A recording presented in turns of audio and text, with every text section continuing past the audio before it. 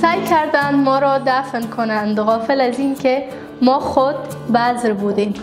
پاسداران وطن روزتان گرامی. صبح خیر زندگی.